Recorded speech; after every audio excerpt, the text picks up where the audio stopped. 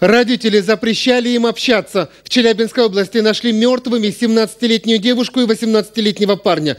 По предварительным данным, смерть молодых людей не носит криминального характера. Мертвыми их обнаружили на заброшенной ферме в Варгаяшском районе.